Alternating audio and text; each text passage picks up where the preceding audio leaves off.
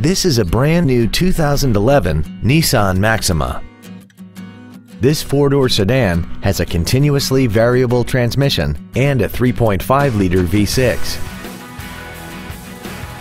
Its top features include a power passenger seat, air conditioning, cruise control, a Bose stereo system, leather and alloy steering wheel trim, a four-wheel independent suspension, aluminum wheels, a low tire pressure indicator, speed-sensitive volume controls, and a sunroof enables you to fill the cabin with fresh air at the push of a button. Call now to find out how you can own this breathtaking vehicle.